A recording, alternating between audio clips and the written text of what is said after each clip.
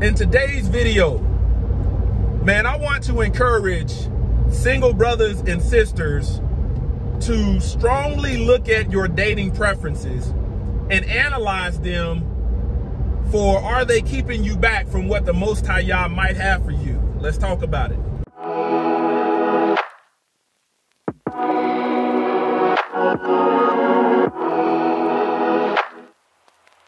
All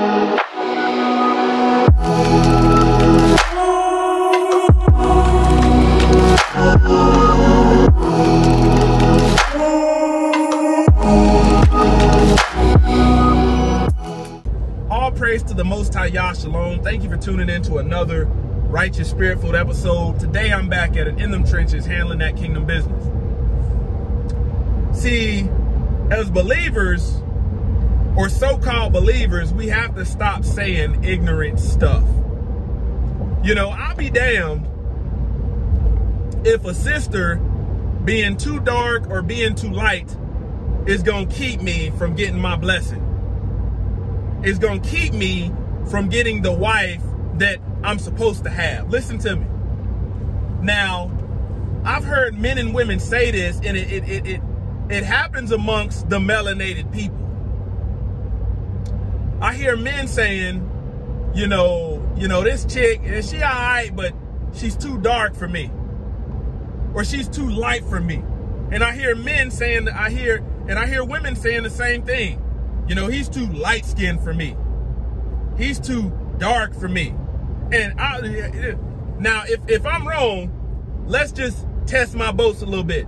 Now, if you think like that, and that's one of your preferences, there's a high probability that if you are a woman and you don't want a dark skinned man, there's a high probability that you've been with a lot of light skinned men that ain't worth shit. Now, if they was, why didn't you stay? Why didn't you stick around? Listen to what I'm saying. As a woman, if you say, okay, this man too dark for me. Listen to what I'm saying. Listen how ignorant it sounds. And if you've been out here in this worldly culture of casual dating, there's a high probability you've been with a bunch of light-skinned men that ain't worth shit. And if if if if you raise your hand and say, well, one of them was, why ain't you with them? Same thing, brothers. I hear men say it too. Sister was too dark, man. You know, I can't get with no woman that dark. What if, what if that woman was Yah fearing? What if that woman was the closest thing to wife material that you'll ever get close to? What if that's a woman that truly wants to fulfill uh, the duties of a wife, the duties of a mother? You just, you just pretty much cut her off at the ankles because of color, because of her uh, amount of melatonin. This stuff sounds crazy. I tell you something, man. You know, you know. I wish somebody would have said something like this back. You know, when I was in Christendom, Christianity, but you don't hear messages like this. You know, they don't even they don't even talk about stuff like this.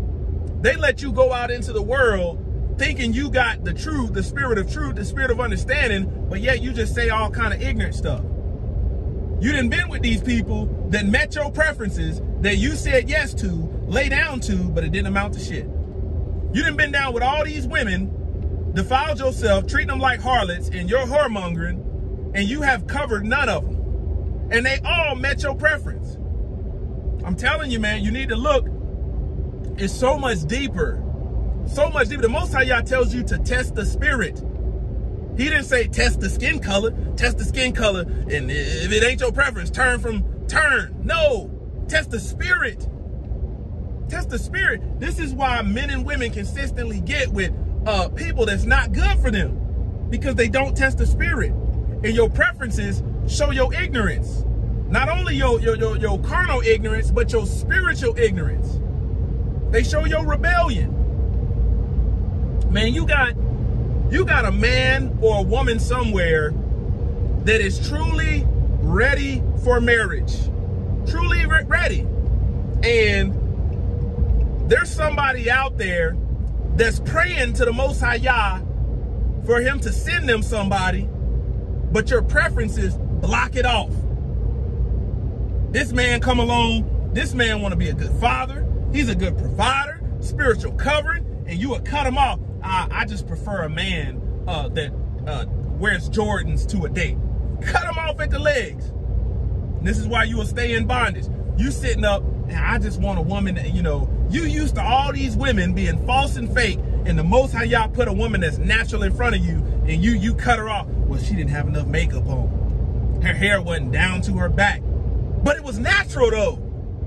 That's how ignorant this stuff sounds. She was too dark. She was too light. I don't give a dang. If you missing both your kneecap, if you can fulfill the will of a wife and as a mother, hey, we we hey, we, we in there, you winning. Because you got a lot of these highly desirable people that ain't spiritually winning, that don't have salvation. But according to your preference, but according to your preferences, you rather hit yourself to somebody like that. You would you would hit yourself to somebody that meets your preference and bypass all the things that you actually need to look at. And then in the end, when it don't work out, then you would try to out them, man. She wasn't worth that. She wasn't worth shit. Man, that man wasn't worth shit. Why? That's the only thing you looked at. They was light skinned and they was dark skinned. That's it. And people out there have, have had preferences like that and say, ooh, he's so chocolatey. Ooh, she's so light skinned. And you just lay down and have baby with these people. And that's what your relationship is built off of. Worthless dating preferences. That's why you don't get nowhere. Closer to the Yah ministries kicking that thing, gun barrel straight.